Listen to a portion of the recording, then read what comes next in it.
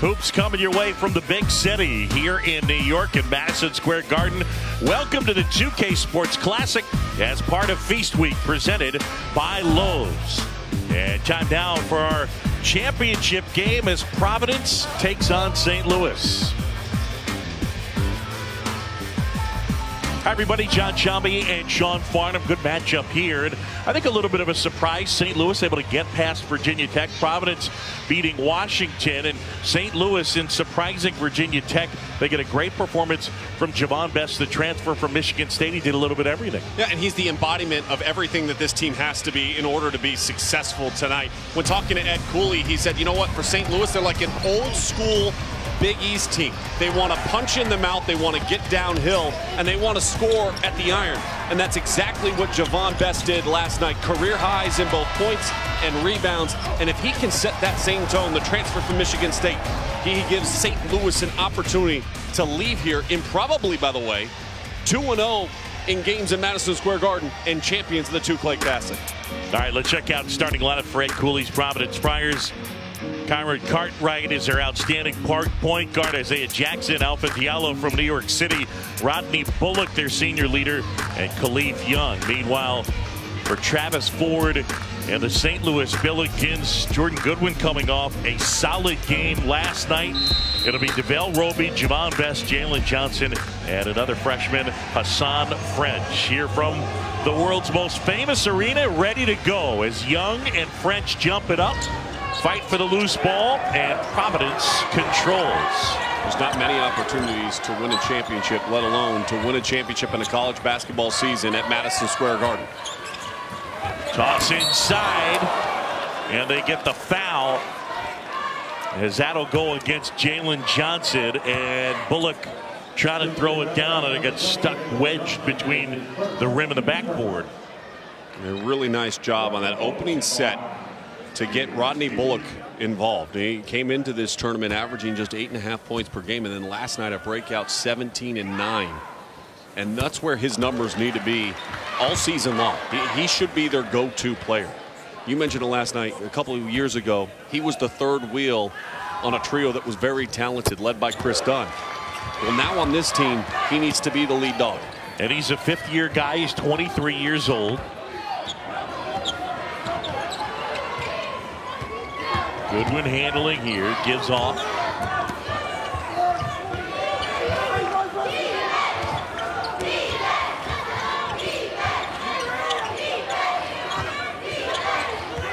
He did such a good job yesterday of running some time off the shot clock. Now under 10. Here's French.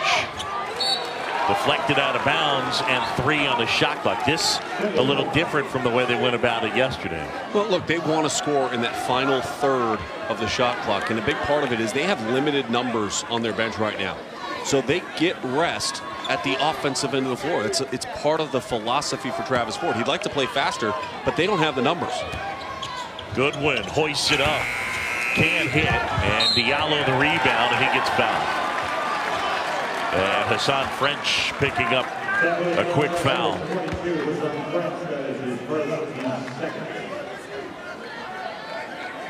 Foul trouble was apparent towards the end of the game, and while you look at it okay, that's just that's just one foul.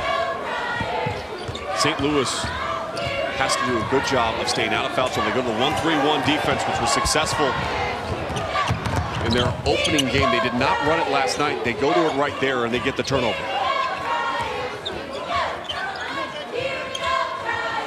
Part of what St. Louis did so well last night, they took Virginia Tech out of its offensive flow. They're going to try to do the same to the Friars by mixing up their defense. That one from the corner, and a three will go for Davell Roby. Roby, their senior from Memphis. Toss up ahead, Kalif Young flips it up and in. Cartwright has such great vision on the floor. Led the Big East last year in assists. Didn't take long to see the big fella running rim to rim, and they feed their big guys when they run and they get out in front. And Young is big, but he moves pretty well. Roby.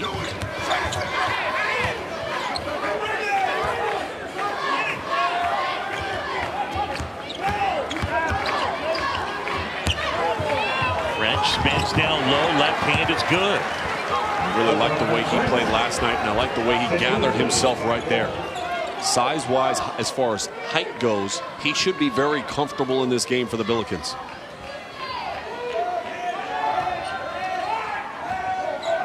Cartwright hit a quick double team.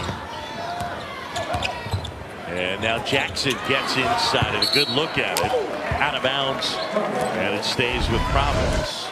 You come up, you set the screen, and he dives straight down the middle of the lane. Ducked in with his back to the basket, got his hands underneath it. Felt where the defensive player was, bumped him off of him, and able to finish. Nice job.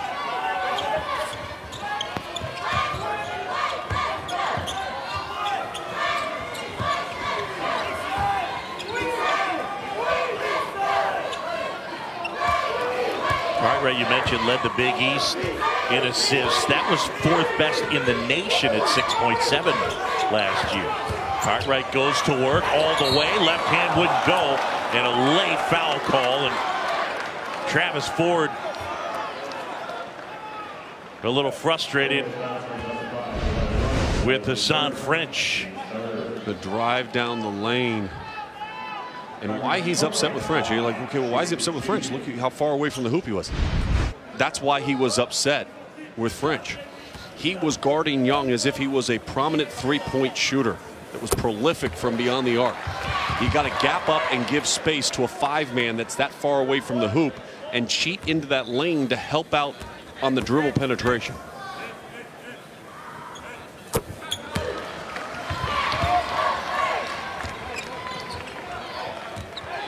Providence, the early lead, just getting started our championship game. It's the 2K Sports Classic from Madison Square Garden. John Sciambi and Sean Farnham. Bess, the kick out.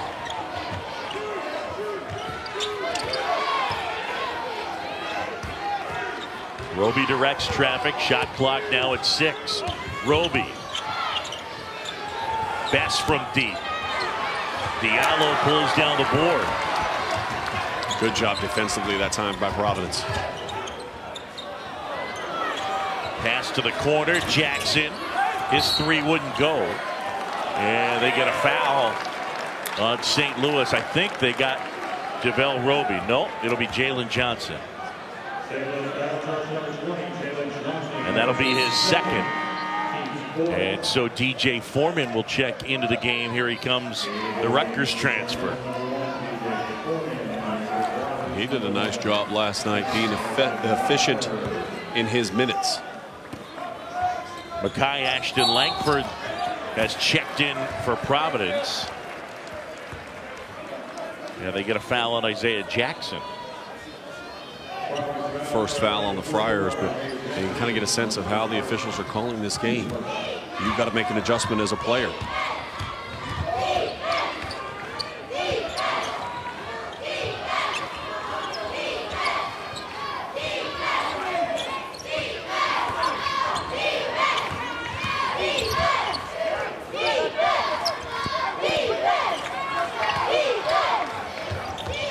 That one hoisted up there and knocked down. JaVale Roby is able to hit. Two quick threes for him early in this game.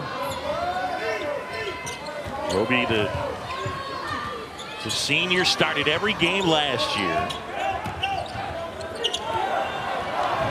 Ashton Langford lost the handle for a second.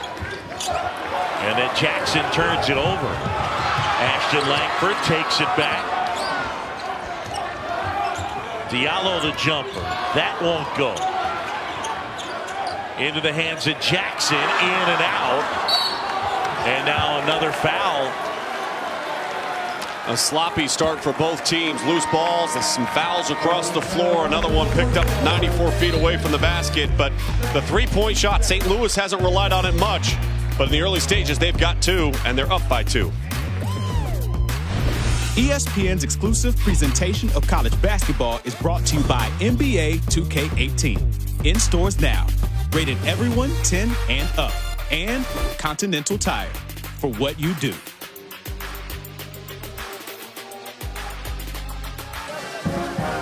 Back inside Madison Square Garden for our 2K Sports Classic Championship game. John Sciambi and Sean Farnham. We talked about you know, foul trouble possibly an issue, but St. Louis, they're thin right now, and one of the things that attaches to that, right now, four unnamed men's basketball players are under a Title IX and police investigation into sexual assault. The assaults occurred September 24th in an on-campus apartment. An internal school investigation is expected to end around next week. So, and again, the school is not commenting on it, but a situation where for right now, Travis Ford does not have as many players as he normally would ready to play. And obviously very serious allegations. And the, I think the university's approach has been very professional about it. Uh, they have not commented on pretty much anything in regards to it. There's nothing more that, that we have that we can add to you, to you about it other than the fact that there are players that are not participating right now on the basketball court. And in this particular game and how it relates to what we have here, you have the concern of foul trouble because of the guys that are here. Now, they got in foul trouble last night, and they were able to overcome it. Yep. Um, and that's Travis Ford says, look, the train is moving along. And we've got games and we've got a chance to win a championship here today. I'm not worried about what's going on that I can't control other than the fact that I've got to get these guys ready to play tonight. So in the early going, Jalen Johnson with two fouls. That is one guy. There's that 1-3-1 again. They mix it up in their man-to-man. -man. They go to the 1-3-1. First time they forced a turnover off of it. And they get Diallo pushing off. Alpha Diallo. And I remember, look at this now, you got four turnovers already in the early portion of this game for, Pro for Providence. It's a 6-0 in points off of turnovers for St. Louis.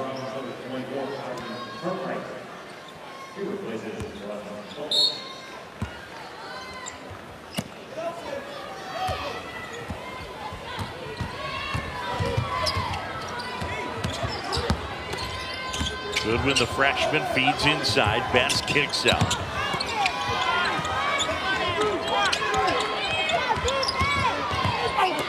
Bess inside, trying to spin it home. It goes out of bounds. Javon at 22 and 9, both career highs last night. One of their three captains, along with Roby and Aaron Hines. He's like a running back. He sees that that seam open up, that offensive lineman hole type and he hits it right away. He's very quick and explosive off the wing. Took a hard fall that time, though.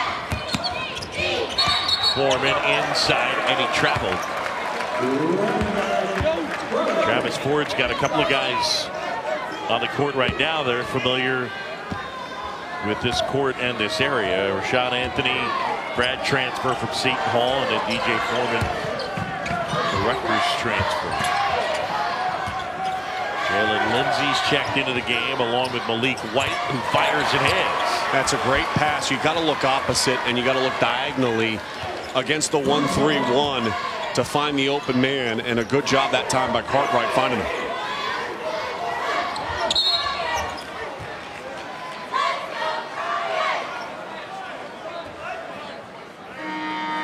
Well, Miami coming off their win against Notre Dame. They are undefeated and number three. They're at home. They'll take on Virginia at noon Eastern tomorrow on ABC. Looking forward to that game. What an atmosphere it was last week for game day. And then the Notre Dame contest was dominated. Dominated by the Hurricanes.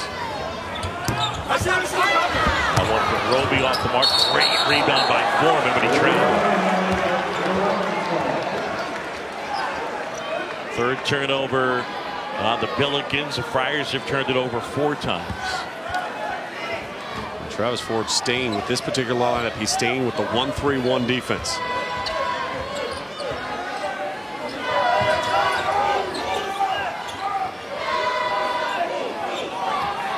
Nice switch mid-possession from the 1-3-1 to the man-to-man. -man. Again, all this is trying to do is to confuse and get Providence out of any rhythm offensively. All right, Cartwright pulls up. That won't go. Rebound. Lindsey is put back wouldn't go, but he's fouled. Jalen Lindsey, the senior from Tennessee. Lindsey, a good shooter. He missed their opener with a knee issue.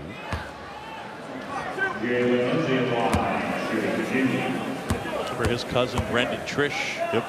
Played at Syracuse. Mom was a great basketball player at the University of Alabama. So Lindsey, another one of these guys that can help them off the bench there without Emmitt Holt, who is dealing with an abdomen issue. Well, you mentioned how he can help him. 46% from three last season, averaging better than 10 points. So you get that kind of production.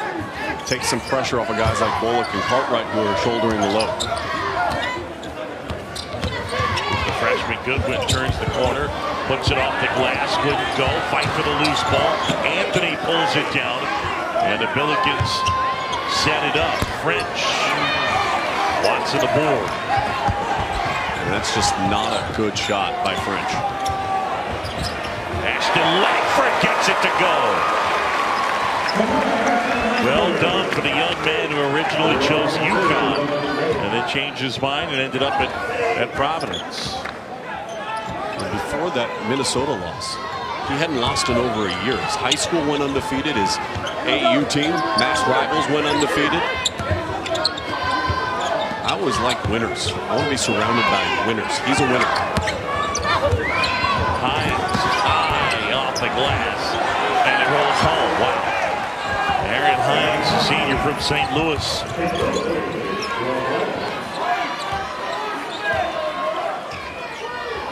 Look at that. Goodwin takes it away from Makai Ashton Langford, who looks for some help and then turns it over.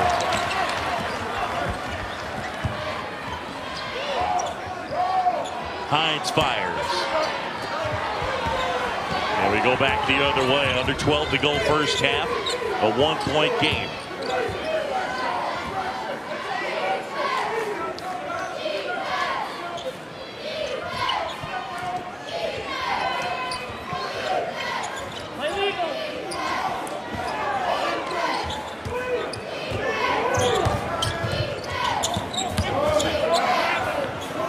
White kicks out. Lindsey buries a three.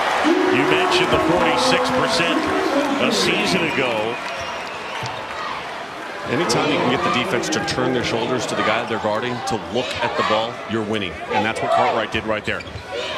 Gave just enough space for Lindsey to dial it in.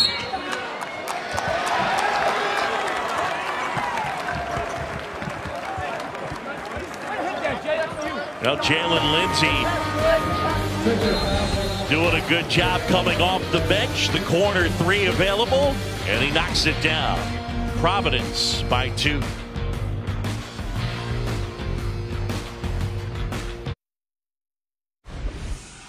What's your takeaways from the first eight minutes of play? A little sluggish, running in mud a little bit, treading water. We got to find our second win uh, to get back to competing at the level we need to compete with with a Providence team. Settling for too too many threes on that end. We need to get playing downhill in the paint. Um, you know they've made a few tough shots, but we're okay. We need to find our second win. How effective are, or how confident are you in the one-three-one? You've gone to it early and often here. We'll show it off and on. We're not, you know, it's. Uh, it's to change them up a little bit and also give us some rest. We're in a little bit of foul trouble already. Uh, but yeah, you'll see it a little bit off and on. Thanks so much, Coach. Thank you.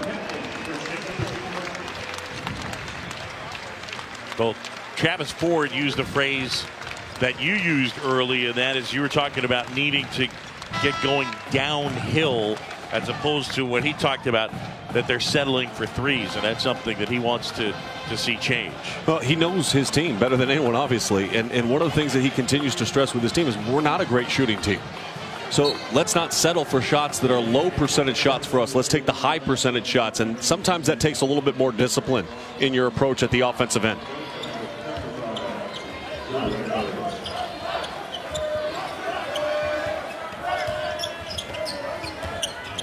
Ashton Langford kicks to Bullock. Bullock pulls up and hits. Now Rodney Bullock, big guy at 6'8". He goes 225 and he's able to just rise up and knock it down over the defender's extended hand.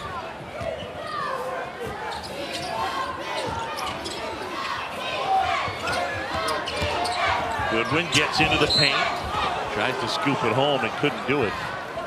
Now you mentioned go to the line. Partner, you mentioned Rodney Bullock, and a good opportunity here. It looks like good defense, right? I mean, they're in perfect position. He just gets them a little bit leaning one way, gets brings the ball down low, and as the hands start to drop, as soon as they drop, he knows he can elevate up over the top and finish. That's an experienced player. So Bullock off to a good start. He's got four. And this is Jordan Goodwin. He's got four, but he's going to go to the bench because he's got two. The two beats the four when it comes to fouls. Indeed.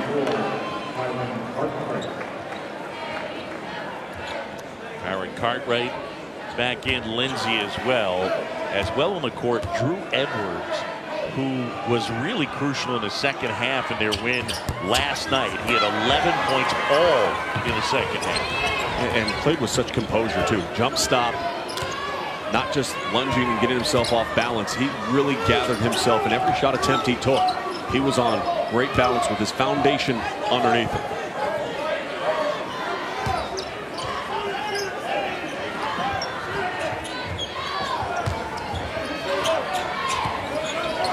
Diallo off the glass. That won't go. And Goodwin weaving through traffic. Finds French, who spans, has it rejected. And they go to the possession arrow. It'll stay with St. Louis, but a great block by Nate Watson. Nate Watson gets up and just basically says, you've got no chance of shooting that ball over me. French spins and as he spins, all he's doing is Watson's laying there waiting for it, going, come on, feed it to me, feed it to me. Yes, you did. And he takes it and keeps the jump ball. It stays St. Louis's possession, though.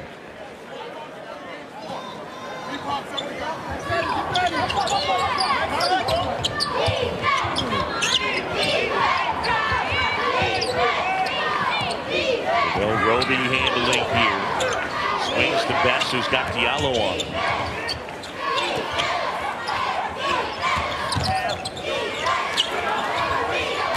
Hines down.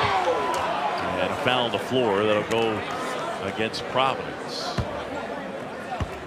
Hines is one of those players off the bench for St. Louis that can impact the game in a very short period of time. He's very aggressive. When you look at St. Louis, you think, okay, Bess, number three, he's going to get the ball stuck in his hand sometimes, and he's driving and coming right after you. Hines will do the same thing, and Goodwin. Those are the three players when you're looking at a scouting report, you go, okay, they're the guys we have to stop because if we can get them out of rhythm, I think we're fairly confident that you can you can limit the action that they're looking for from the other players.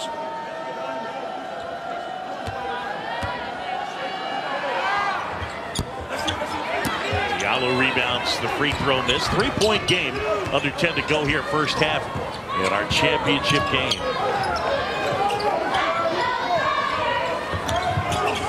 Just kind of passes up over the top, allow the defense to recover.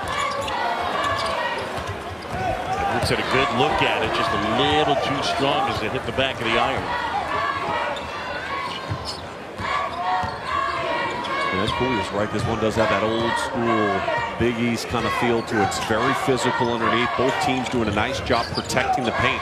That's part of the reason why Travis Ford's talking about his team settling for perimeter jump shots because Providence defense is suffocating underneath. And they get Bess on the travel. Travis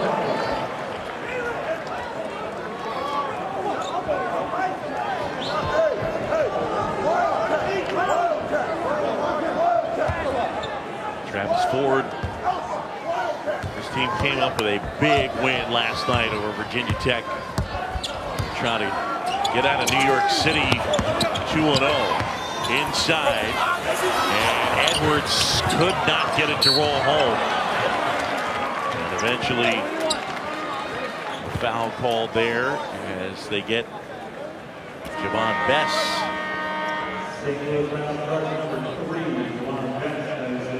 With as many fouls as we have now, one-on-one -on -one opportunity consistently, and soon to probably be two free throws. It's going to be a long half of a lot of free throws just based on style of play and the way that Providence is looking to try to attack St. Louis.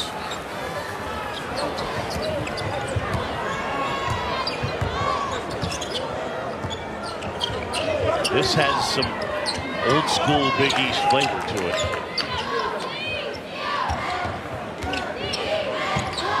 Maybe they'll go to six fouls at the half. Big East did that back in the day. Hines gets that shot rejected. He went down hard.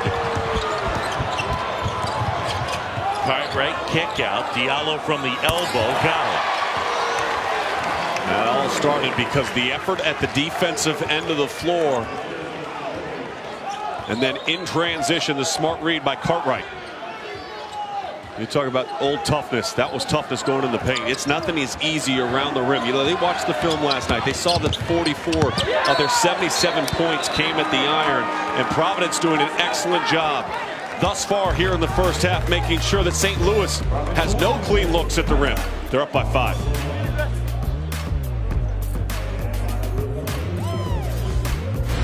ESPN's exclusive presentation of college basketball is brought to you by Lowe's.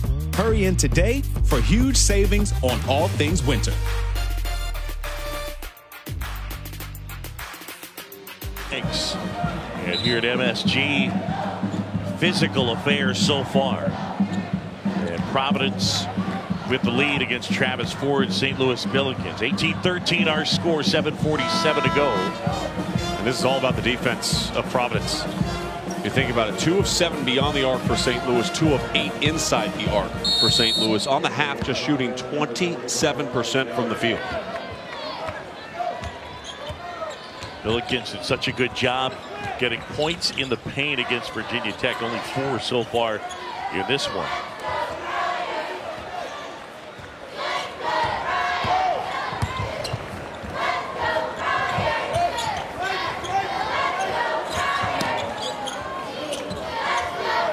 Shot clock winding down. Cartwright's got to do something. Cartwright spins inside, pulls up and hits. Well done, Kyron Cartwright. That's experience. That's a guy that's been in this building before, understands how to read a defense and make a good shot.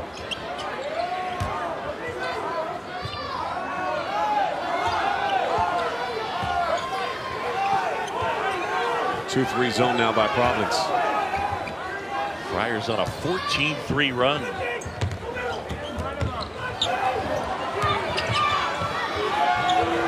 Hines from way downtown as the shot clock expires. You can't get a much better defensive possession than that for Providence against St. Louis. They didn't give them anything at the rim and then an air ball three-pointer. Meanwhile, offensively, feel the defense spin off and elevate. And Cartwright did an excellent job on that last possession. He's got confidence. He's got that senior kind of confidence that you look for in a point guard that's been around and has gone through the battles that he has. Learned so much from playing underneath Kris Dunn. Goodwin with a takeaway.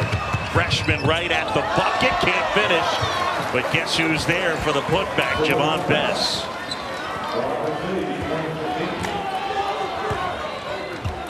See if that can jumpstart the Billikens. Diallo wanders into the paint, kicks out. Lindsey a triple, gets another. Well, Lindsey didn't even catch that ball cleanly, but he still had enough time to get his feet set underneath him and knock down that shot. The second three that he's made in this game.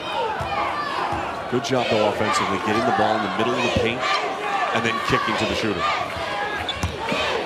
French spinning inside. Won't go against Kalif Young. Jackson the board. Here come the Friars. Cartwright kicks to the right. Diallo buries a three. He knew exactly where Diallo was the entire time.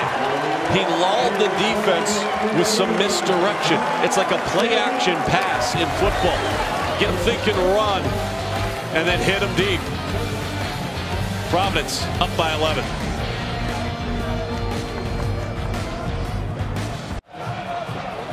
Friars by 11. It is a deep team for Ed Cooley, and it is an experienced team for the Friars. Bullock, Lindsey, and Cartwright. Right now, they're without Emmitt Holt. But three of those four guys making an impact in this game. And Cooley points out that maybe Emmitt Holt is the guy that is as crucial as any of them. Kind of a glue guy for them. But at the same time, you look at those other three that are available right now, and yeah. what have they experienced? They've experienced three trips to the NCAA tournament. They've never not won 20 games during the course of a regular season. And with that, there becomes a certain level of expectation in your program. With that, you hold your teammates accountable, and with that, you provide the leadership to make sure in your final season there's no drop off. And that's what Ed Cooley's team is staring at right now in this young college basketball season. Kyron Cartwright, the kid from Compton, California, takes a seat. And here's Makai Ashton Langford.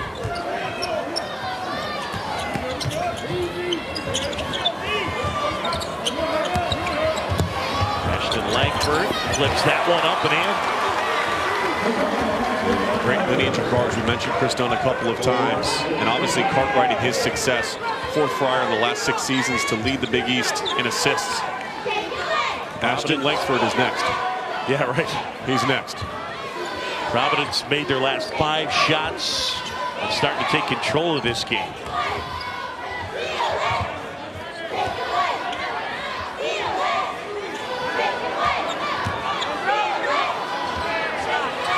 Bess from way down Joe. Foreman the putback. That's a big basket, and they needed it. DJ Foreman. Well, the offensive rebounds is an area in which St. Louis feels like it can have success. Last night, Providence gave up 16 offensive rebounds. Good hands by Bess, but he couldn't secure it. And now Ashton Langford get Kalif Young on the foul. Under four timeout, and Cooley and the Friars leading by 11.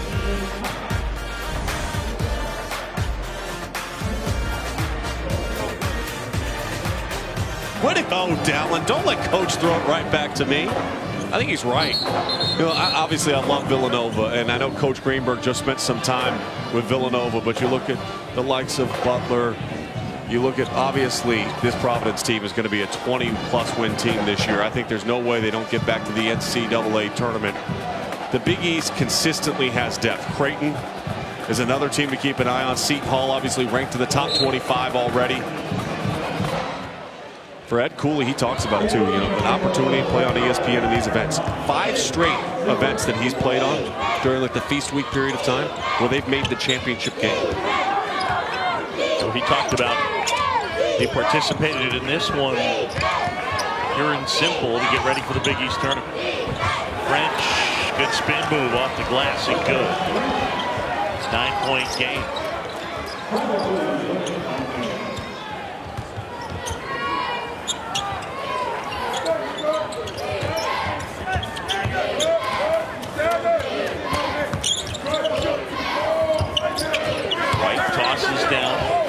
Watson inside, point blank look, couldn't hit. French rebound. Yeah, be able to finish that one.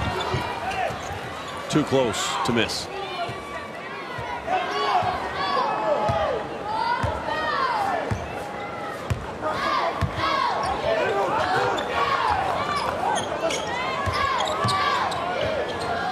Good ball movement. Good win. It's good ball movement when you have a confident shooter from the outside. Goodwin shooting just 8% from three. Makai Ashton Langford, the pull-up. You see the difference in quality of shot? Ashton Langford isn't a great three-point shooter right now, but he knows that he can get to the paint and, and elevate and finish. Goodwin settled on a kick to try to knock down a three-point shot when that is not the strength of his game in his young college basketball career.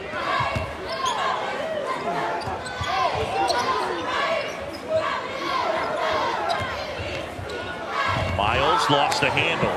It ends up with Lindsey, and now the push up ahead. Friars have been excellent defensively here in the first half. And Jackson gets fouled on the floor. Well, Farnham, your UCLA Bruins tomorrow night in action on Believe. the gridiron. Believe it. Number 11 USC. The victory bell is on the line.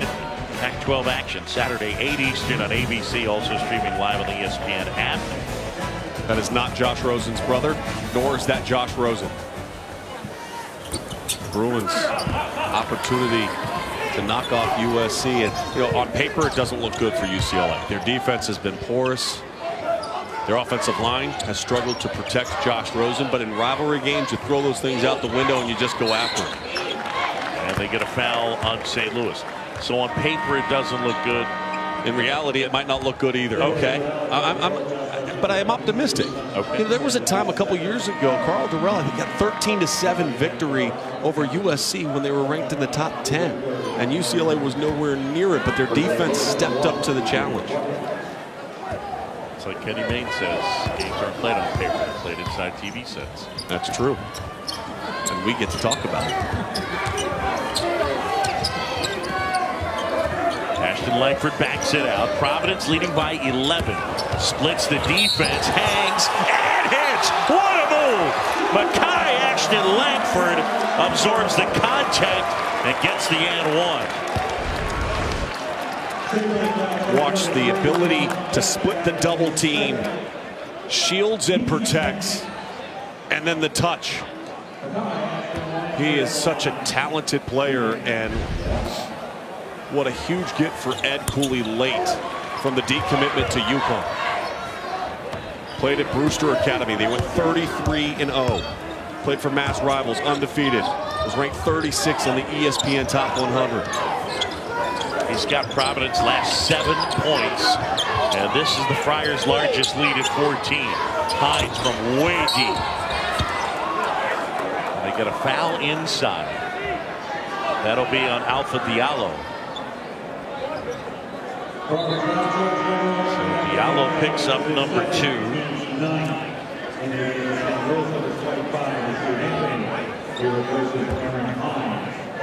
And Bess at the line. One spot. Diallo rebounds the miss. Ashton Langford toss up ahead. Watson hangs and hits. How about the big guy running the floor? And, and, you know, we saw Cartwright do that earlier in the game, throw ahead to the big, and now you see the freshman Ashton Langford do the exact same thing. It's in the system. It's how they're taught. And they tell their bigs, get, get out and run. Our guard's responsibility is to feed you the ball when you're out in front. Ashton Langford did a nice job seeing the floor and throwing it ahead. Three-point play for Nate Watson, an 8-0 Friars run. And they have broken this thing open. Our championship game, the 2K Classic, here at MSG.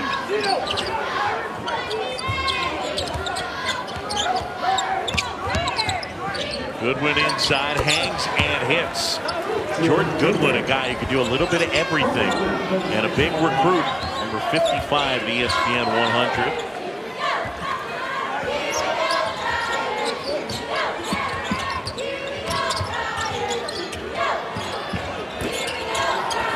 And that rattles home a three for Malik White. Everything going Providence way. And that pretty much sums up how the first half has gone. They've got the balance. They've executed better offensively, and their defense has been fantastic.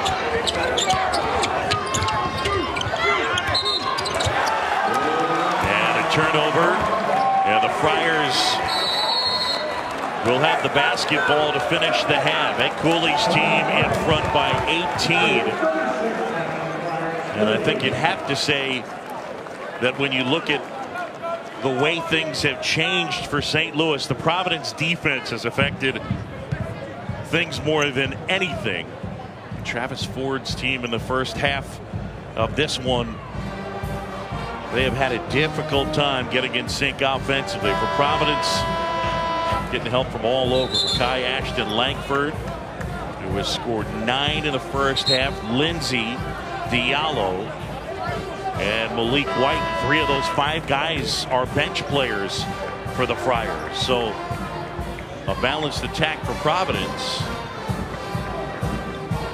And Drew Edwards and company, they've given him help off the bench. And Cooley said, I have a really deep team. And probably playing too many guys. First half, clock winding down. Ashton Langford gets into the paint, shoots and hits.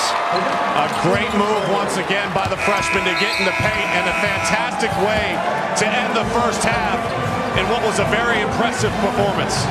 He's got great hair and he's had a great first half. 11 points from Akai Ashton Langford. Standing by with the head coach of the Providence Friars, here's Sean Farnham. Coach, last night St. Louis scored at will in the paint. You guys turned off the water in the first half. You haven't allowed them to get inside. How happy are you with your defense? You know, we're dialed in, we're locked in. You know, they're following a scout report. We know that they really dominated the paint yesterday in their dribble drive. We want to try to shrink the floor and make it a tough twos game. Coach, you're going to be back in this building towards the end of the year. How valuable of an experience is this for your team to play on this floor in this building in preparation for later on down the road? It's really good for us, especially our young kids are getting a lot of playing time right now. This is a great place to have a conference tournament. I just hope we can continue for 20 more minutes to play well. All right, go get to him, Coach. Thanks. Well, one of their young guys, Makai Ashton Langford, with 11. And the Friars in control as they lead it by 20. Back to the studio now. Chris Cotter, Dalen Cuff, and Seth Greenberg. I don't know how sneaky is Farney getting out there from behind the table. That good first, man. Welcome back to the 2K Sports Classic as part of Feast Week presented by Lowe's. And back here in New York City from Madison Square Garden, we get ready for the second half, of our championship game, and it's Providence leading by 20. Hi, everybody. John Sciambi and Sean Farnham here at MSG. Our championship game in Providence has really asserted its will, and especially the defensive end, things have gone really well. And then on the other end of the court, they've been efficient. They've been efficient. And, and remember, Ed Cooley told both you and I this is the deepest team he's ever coached at Providence. And where do you see depth and production off the bench? And that's the one thing that has stood out so far, not just here tonight, but also last night. But tonight, they're trying to take it to another level. 26 to 5 advantage in points off the bench. When you can be a head coach and look down and bring guys in and there's no drop off, that's when teams can start to go to the next level. And what you're seeing from Providence tonight is that Ed Cooley believes in this group that he brings off the bench, and they're productive. Well, it's 11 points from Ashton Langford, 5 from White, 7 from Lindsey, 3 from Watson. They have all added up, and they've helped this team, in particular, Ashton Langford, extend out their lead. Well, Javon Bess for the Billikens coming off a career high in both points and rebounds, 22 and 9 and he has been held in check. Four points, two boards so far. What can St. Louis do here in the second half to get back into this thing? Well, one one thing you got to shore up your defense and get some stops because you can run and transition, hopefully, and push it and try to get to the rim. And that's the best and easiest way to score. And when your opponent's shooting 63% for the first half, you're taking it out of the net a lot. Offensively, stop settling. And they're allowing the pressure of Providence to disrupt them and push them further and further away from the basket. Nice shot by Alpha Diallo, the kid from New York City knocking it down. He's got a lot of family here watching him play. There was three possessions towards the end of that first half where it was well beyond NBA, NBA range. Three-point hoists as the shot clock was expiring. That's not good possessions for St. Louis. Goodwin fires one up. And a rebound yanked down by Bullock.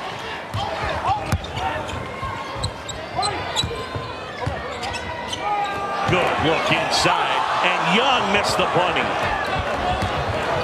Kalif Young point blank and couldn't hit Goodwin. And a rejection by Young, but they get the foul. And I think they just got the deflection. No, they said out of bounds, no foul. Okay. Well, here's what I like about that play, though, is Young didn't put his head down and not get back in transition. Now, obviously, that is a clear finish. You've got to be able to make that one. Young didn't, and he gets back and gets the block, and now that leads to the turnover. Diallo reverses, nicely done. And little things that, that, can separate you. The hustle, the change of ends, the not letting the last play carry over and impact how you play the next. Johnson can't hit. Young fights for the loose ball and ends up with French.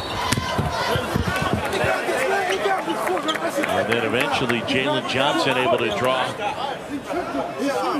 the contact. And they get the foul on Kalif Young. Thank you. It's number two on Young. St. Louis shot just 31% in the first half. And again, credit Providence and their outstanding defense. The lead, the lead has ballooned to 24.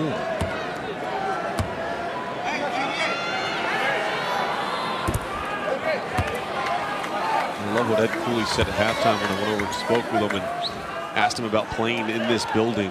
You know, there's no doubt that this is trying to replicate what they're going to see during Champ Week in March in the Big East tournament. And for his young guys, yes, it's a great experience, but also for his older guys that are in new roles, or roles that have been abbreviated and changed from last year. It's getting more comfortable in those roles in this building. They stay at the same team hotel. They try to keep the same schedule as far as when they practice, when they eat. Yeah, so come March, it'll all feel very familiar. They got Javon Bess with his third foul.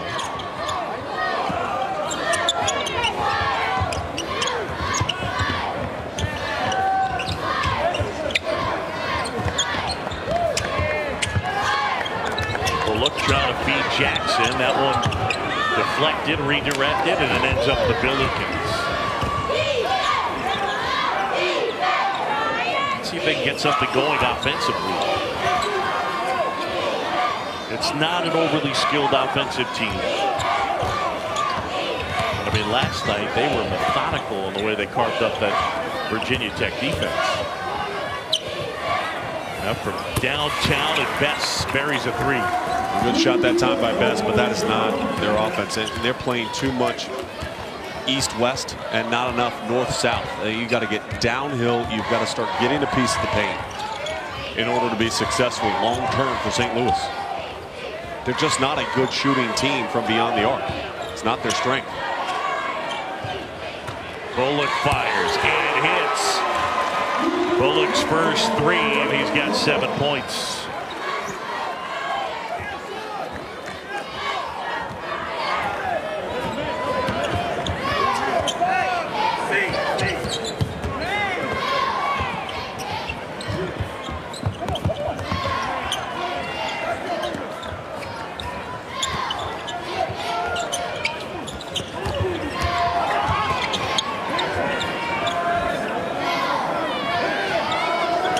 Shot clock winding down. Bess has it knocked away.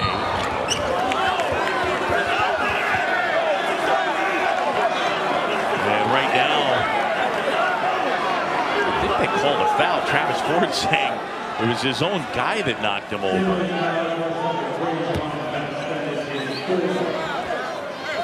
Well, that's a big foul. The third personal foul on Bess. And he'll come out of the game.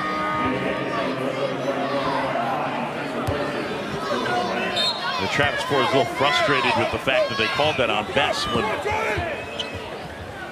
Bullock got knocked down by his own man. Diallo pushes it into the front court. Diallo, good look. And the Friars continue to push. So Bess will take a seat. He's got four fouls. As Travis was talking about the fact that Bess didn't hit him, and No. he's right.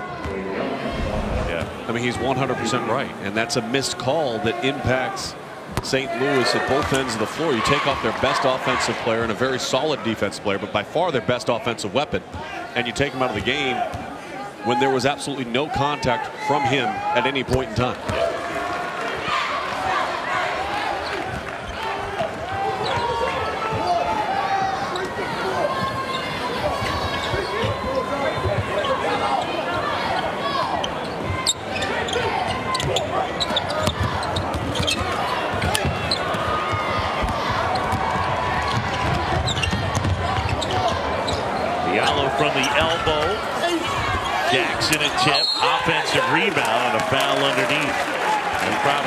absolutely dominating this game. And just starting to slip away even more so than what it was at the break.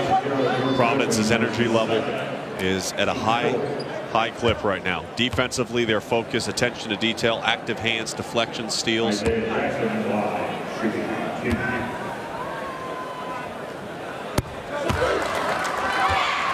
this one quite similar to what we got in game one of our doubleheader.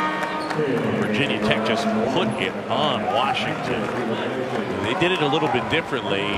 Ahmed Hill and Justin Bibbs were so good from deep.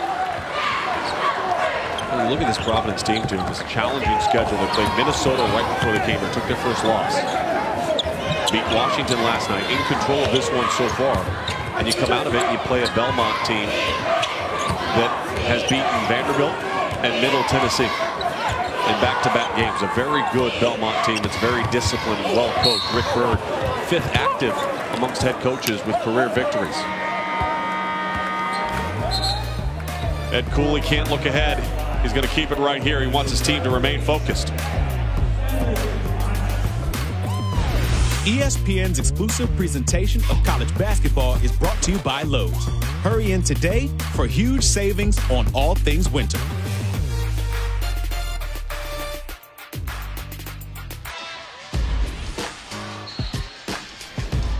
Here, Madison Square Garden, as they honored all of the captains, the honorary captains for the Wounded Warrior Project associated with the four teams. And the 2K Classic benefiting Wounded Warrior Project is celebrating its 23rd anniversary this season and the 20th at MSG. The 2017 2K Classic marks the fifth year that Wounded Warrior Project is the beneficiary of the event with the mission to honor and empower wounded warriors to encourage warriors as they adjust to their new normal and achieve new triumphs. For more information about Wounded Warrior Project, log on to woundedwarriorproject.org. Know, we talked about this, uh, and it's such a great program uh, that gives back to our men and women of the armed services because it's not just about the scars you can see on the outside. Sometimes it's the, the mental scars that have been left from representing our country and keeping us safe and sacrificing so much.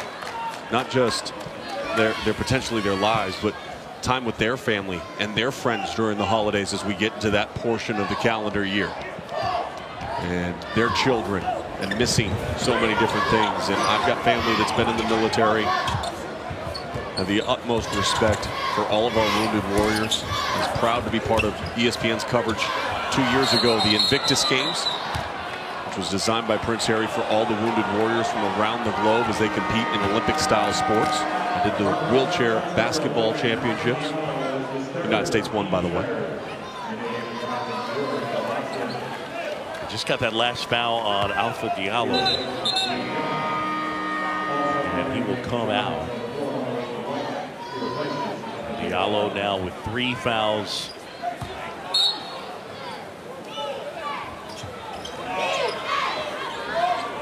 So St. Louis basketball, 15-20 to go in this one, and the Friars leading by 27.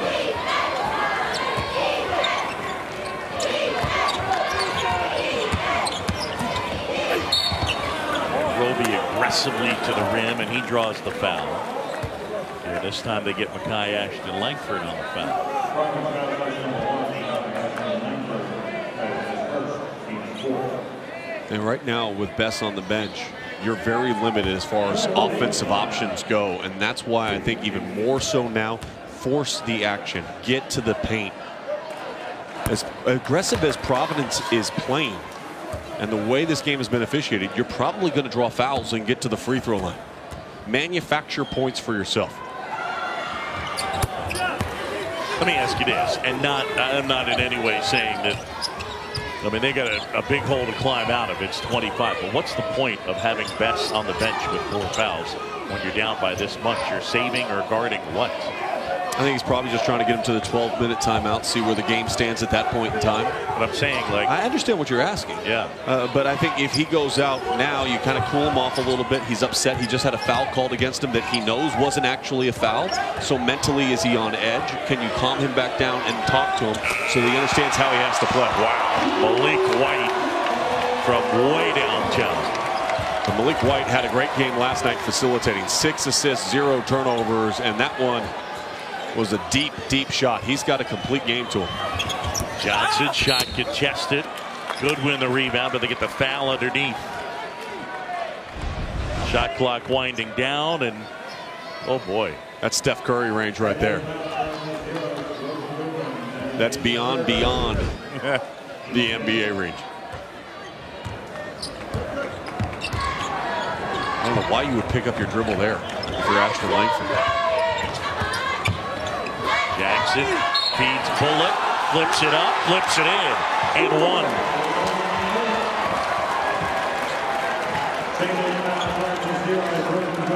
A good job breaking down the defense on the drive, the flip over. Bullock slips behind the back line, poor awareness. And again, that comes when you're watching the ball and not having awareness of where your man is. So now, not one, but two different Billikens with four fouls. You got Goodwin and, and Bess, two of their best players. Did all Providence here as they lead it by 31 in our championship game. Johnson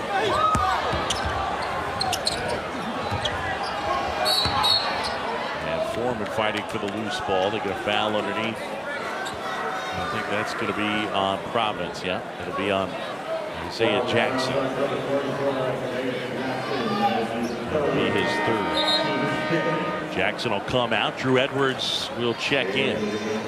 Friar shooting 65% from the floor. Meanwhile, they've held the Billikens to 27%. This has gone as well as Ed Cooley could have hoped. Yeah, you're right.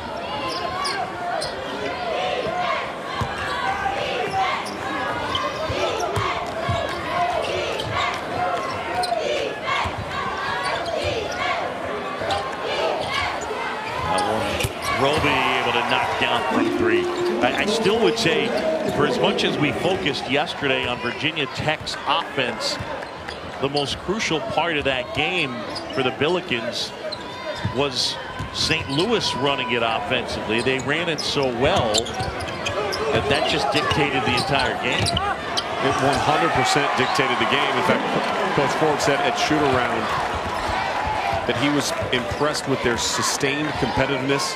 Their offensive pace allowed them to rest players and said that, you know, they took Virginia Tech out of any tempo and flow offensively. Yeah. Now, the carryover would be able to do it in back-to-back -back nights. They have not. I mean, everything they did right last night has not gone right tonight as Providence has been able to slice them up and get whatever they want seemingly every possession. PJ Form in the bucket.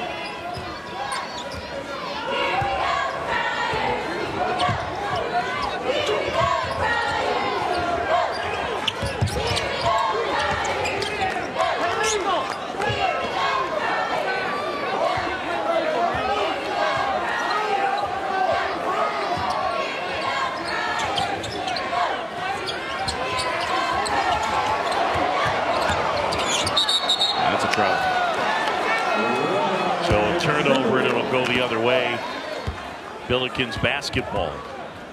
And Ashton Langford didn't really have a good clear idea of what he was doing on that offensive possession. Dribbled himself right into trouble and gave himself no outlet with the shot clock winding down. Point guard's got to understand time and possession. How much time is left on the clock? Do I have a clean look? If not, can I facilitate one? Hines inside. Left hand is good. Partner, that might be the first time all night long that I've seen St. Louis be able to rip through on the perimeter and get a straight line drive to the rim. Yeah, it really is the first clean look they've had on a, on a drive to the bucket. That's a travel again. Kai Ashton Langford turning it over the last couple of possessions. But still, it is all Providence. Our tour guide for Madison Square Garden, Sean Farnham. Farnham around the garden. That's who we like to call it.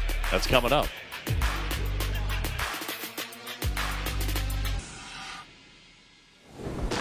If there was a time where boxing was the preeminent sport in our nation, and a big part of it was guys like these guys, Ali and Frazier, the fight of the century, March 8th, 1971. You think about the great fights that we've seen in the last couple of years, and I'm not talking about McGregor versus Mayweather. I'm talking about actual boxing matches. None compared to the showcase of the fight of the century right here in Madison Square Garden.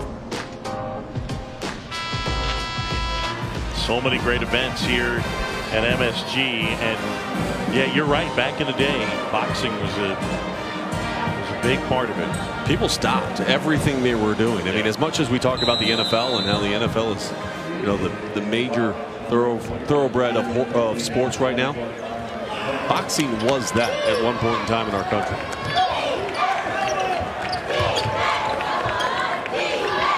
Think about that fight. Ali's first loss. Roby might have taken an extra step there. Go the other way. Friars basketball. Well, Miami is unbeaten. They are ranked number three. And the Hurricanes fresh off their win against Notre Dame. Coming up tomorrow at noon Eastern, it'll be Virginia and Miami going head to head on ABC. Also streaming live on the ESPN app. Can you imagine if Tess rocked the turnover chain? I just think about that. Tess in the booth with the turnover chain. You like it? It could happen this week, and he's down there. Well, I mean, he knows people. Yeah. Good hands. I mean, I saw Finebaum wearing it. Hines kick out. Johnson short. Cartwright kick up ahead. And that one off the foot of Hines and out of bounds. When people think about MSG and when we think about this building, there's been multiple locations for the Garden. Three to be exact.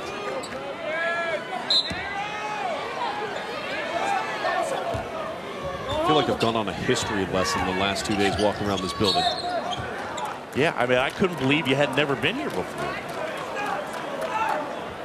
Now, there's Travis Ford. You see him wearing the the orange ribbon there.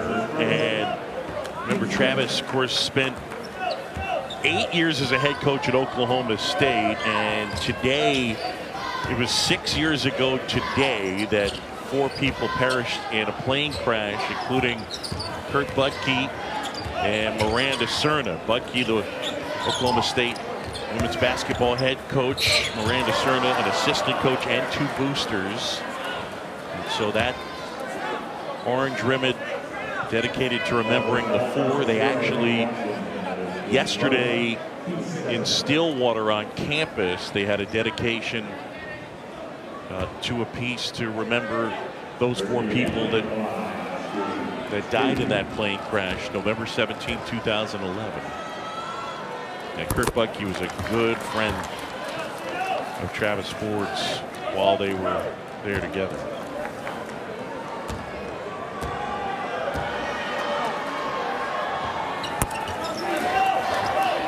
Anthony knocks down the free throw. Under 10 and a half to go. And it's a 24 point game.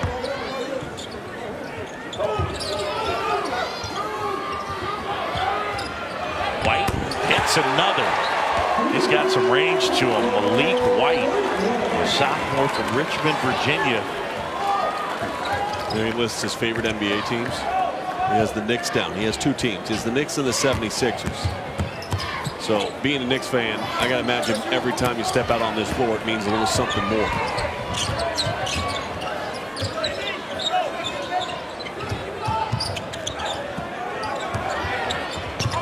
Watson inside. Air ball.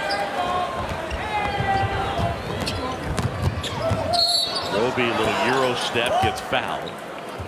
And he'll go to the line. People are excited about the Knicks right now. And there's a little more buzz in this place with Porzingis playing so well.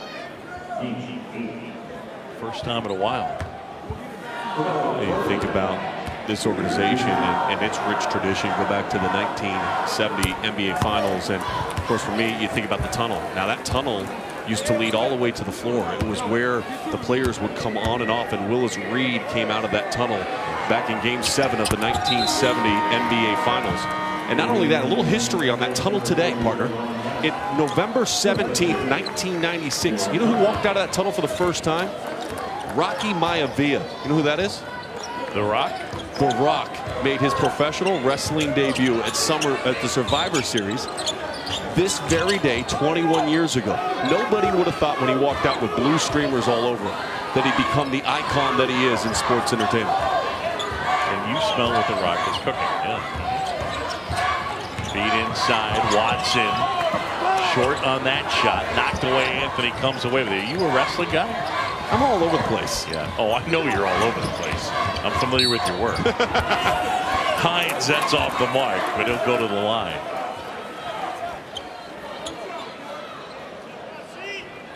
I dabble everywhere. My kids love it. You're high energy. I try from time to time.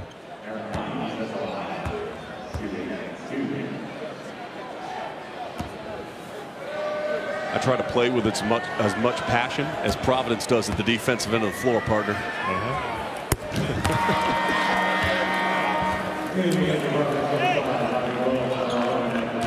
Bullock and Young and Diallo in as Edwards, Lindsey, and Watson will grab a seat. The thing about the efficiency we've seen out of Providence at the offensive end of the floor. Tonight, 16 assists on 22 made field goals. Last night, they assisted on 88% of their made field goals. This is a team that really will turn down one to find a great shot. That's an example of it right there. Kalif Young got himself in a good spot, and now the Friars back with a 26-point advantage. Diallo's proven over the last two days to be a very capable and willing passer when he gets the ball in the middle of the paint. Best back in, knocks it down. Yeah, always under control. Alpha Diallo. That one knocked away. Cartwright looking for some help. Finds it, gets the bullet, hangs and can't hit, but foul.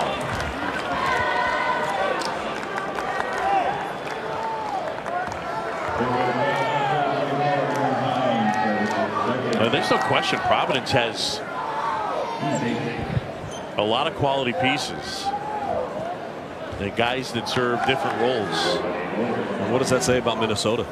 Yeah, right. And again, Ed Cooley raved about their team and the job Richard Pitino does there and raved about Jordan Murphy. Said he is the best player that we have coached against since we've been at Providence, or at least played the best. And that's saying a lot. Yeah. I mean, they've seen a lot of players. And one of the names that jumped out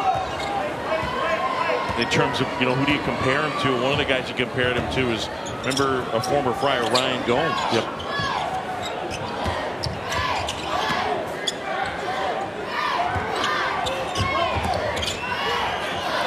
Spinning inside Roby. Had it blocked and then a foul underneath. As that'll go against Davell Roby. Providence in our championship game and Cooley's team up by 25. ESPN's exclusive presentation of college basketball is brought to you by NBA 2K18. In stores now. Rated everyone 10 and up. And Progressive Insurance, your first round pick for car insurance. Get to the inside the play driven by Continental Tire partner. Watch the execution here. I love this play. This was from earlier in the half. Diallo's going to shape up on that side, the strong side. He's going to come all the way over to the weak side. What that's going to do is going to force a miscommunication, and Bullock is going to run back off to the strong side. He's going to have a wide open three coming off of Young's screen. Watch this. No communication defensively. Boom. Right there. Three-point shot. Great execution by Ed Cooley's team. Friars have run good offense tonight. Made 18 of their last 23 and shooting 64% overall.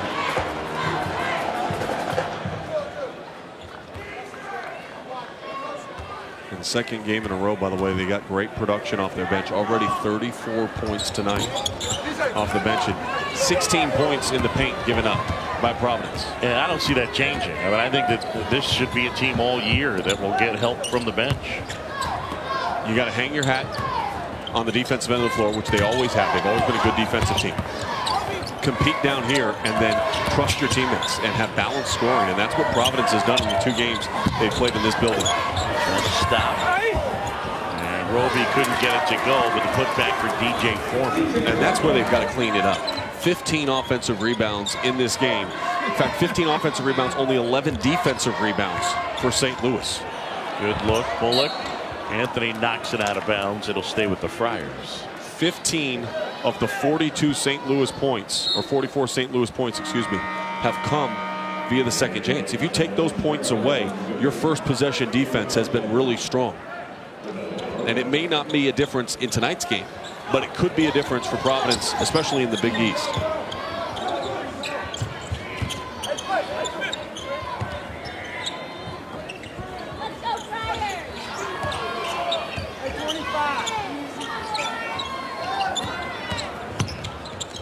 Right, step back. Jumper is good. The kid all the way from out there in Compton, California. In Southern California. He's made his way to Rhode Island and found a home. He's turned into one of the best point guards in the country. You asked Ed Cooley yesterday, you know, where, where do you consider your recruiting base? And he goes anywhere where the where they like Providence basketball, Right. and that includes California. And a finger roll wouldn't go.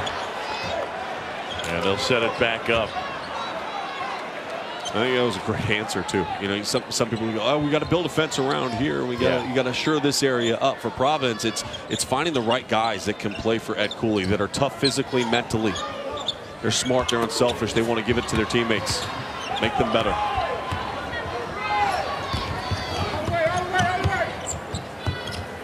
Bess launches. And a rebound pulled down by Maliek White. Yeah, the court now you got California, Canada, New York, and two kids from Virginia for the Friars. Diallo, little floater, and that'll go. Alpha Diallo with 11. They can't leave the ball though. And Hines pinched in and then left the ball and created a lane.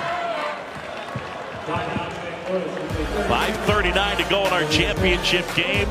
And the Friars in control.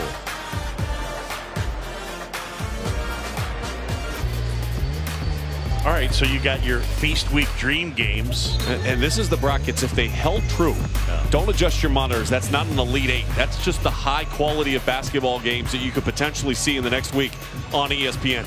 Arizona versus Nova. Number one versus number eight, in Duke in Florida. Michigan State versus Carolina. Wichita State versus Notre Dame. And those are all four different tournaments. Obviously, PK 80 is the same location, but different brackets. Uh, but if the brackets hold true, I mean, we talk about all these great matchups in football.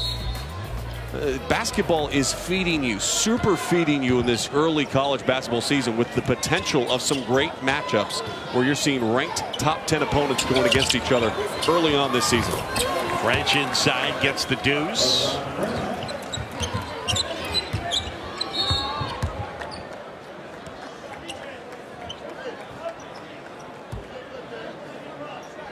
They had to reset the shot clock.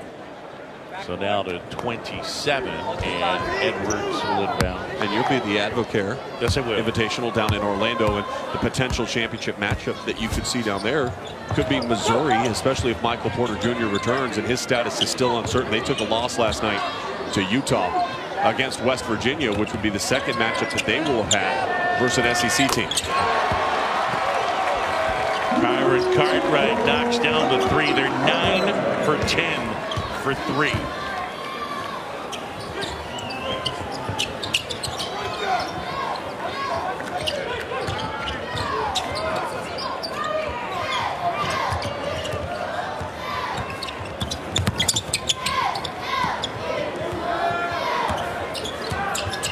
French loses his dribble for a second.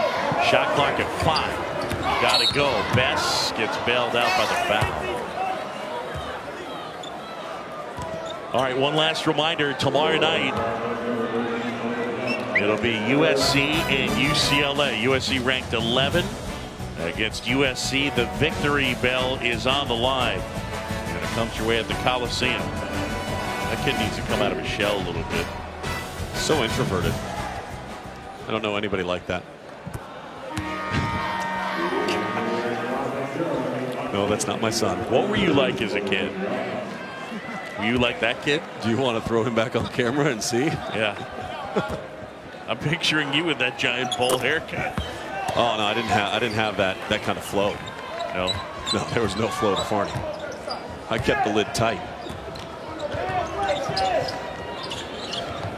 I like in the late stages of this game that we're talking third person. Oh, we are in New York. It reminds me of Seinfeld. Jimmy likes a lane. Jimmy shot was going today. And the travel turns it over. And that football game though between USC and UCLA, it, you got two of the best NFL potential prospects there. Now there has been a lot of talk about Sam Darnold coming back to the college game next year. Not wanting to play for the Cleveland Browns. I would love to watch that game with you and Aaron Boone. I have watched a USC game with Aaron Boone that they have lost, and it is painful. Well, I think, I think we should get that done. The powers to be could make that happen. It could be like an ESPN.com exclusive. Bullock from deep gets it. And the lead back to 30. Cooley's been a little busy. Indeed.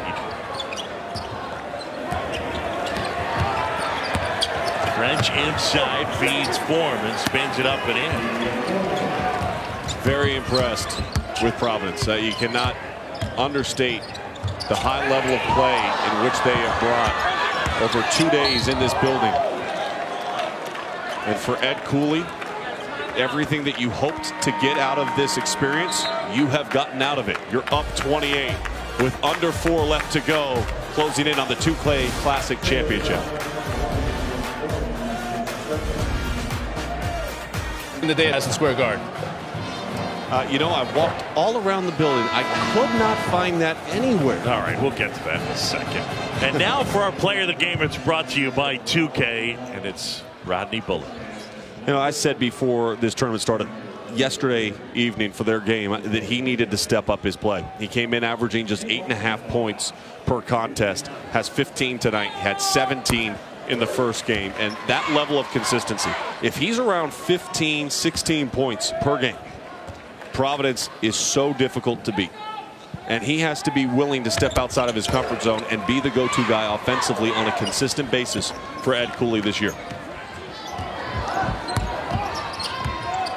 Well, they've had it all going their way tonight. Coach Greenberg, I'm sorry we didn't find. I looked. I did see some Fairleigh Dickinson stuff, and I did not see Coach in any of the pictures I that think they he had had hair back then. Yeah, that's probably why I didn't recognize him. His hair was like the kid wearing the uh, the Josh Rosen jersey. Goodwin flips it up. Tip wouldn't go. Fight for the loose ball. And Goodwin gets that to go.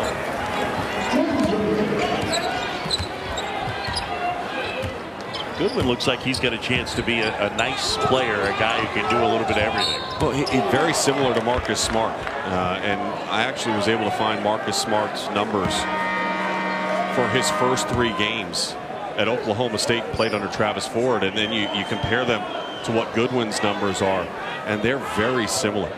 I mean, shooting wise, Marcus Smart could not shoot it from beyond the arc early in his career at Oklahoma State, but was able to fill it up. In fact, Goodwin is actually averaging slightly higher in the rebounds and assist categories. He's averaging 11 points per game. Marcus Smart averaged 13 points per game. So not all that difference between the two. And when you look at the makeup of Goodwin and his stature, you can understand why that comparison is made by Travis Ford.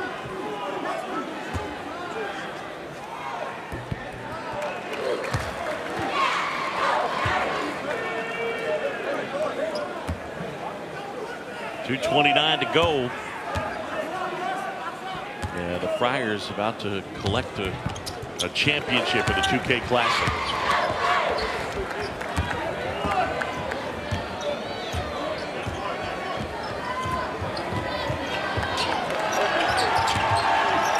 Johnson inside.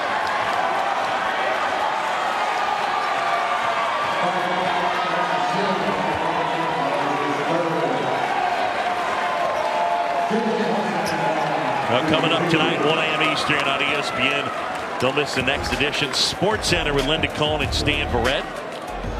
They'll answer what's changed for LeBron and the Cavs. For the Lakers, better off with Lonzo coming off the bench and with one more race to go. What about Junior how he's feeling about retirement? It's all coming up. Sports Center at 1 a.m. You put any stock into the Warriors losing and blowing that lead last night in Boston? Like, How much are you putting on that? As far as like, Do you, like, do you think like, they were? Yeah, I mean, you put the Celtics and go, man, they're on a streak right now. Kyrie's doing a great job. I mean, here, here they are. They're the favorites in the East. Are you ready to go there yet with the Cavs struggling the way that they have? Celtics are elite defensively. I like them. I, I still would put the Cavs as my favorite to get to the finals again. You? I agree. I mean, look, regular season games are regular season games. Playoffs are something different, especially when you have to face them for seven games. And you're changing locations and the familiarity between the teams. And as long as LeBron James is on the Cavs, and you're looking at a Cavs roster right now without Isaiah Thomas, and what is IT going to look like when he comes back?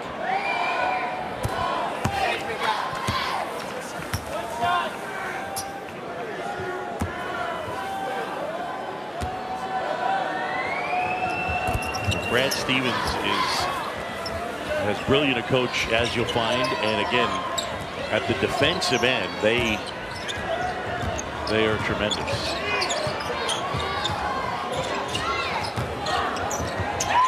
Lob and the throwdown, Dajour Dickens. The freshman center get into play in Madison Square Garden. Able to catch a lob for the dunk. That's pretty cool. Kid from Virginia. I mean, you know, a red shirt is something that they probably still look at a little bit, but with the uncertainty with Emmitt Holt, I think they're not entirely sure in terms of being up front and what they, they want to do, but they like his future. Uh, and you can see why. Got great athleticism, good length on the back line of your offense.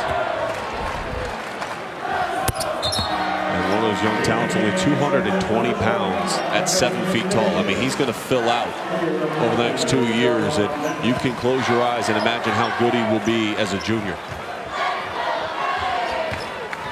Uh, Tom Planek is checked in along with Andrew Fonts. And on the St. Louis side, Marcos Pismitis. Planek inside, rejected by French.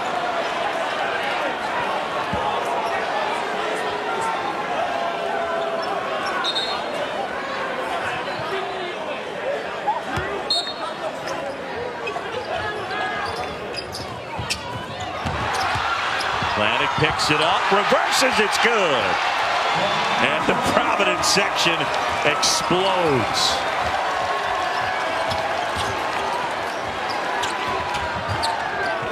Edwards kicks up ahead. Planek.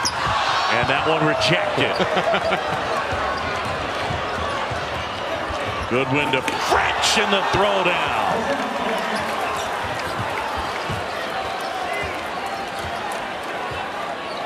Planek had a great move after getting his first shot blocked. Turned into Dunk City. Dajour Dickens with another throwdown.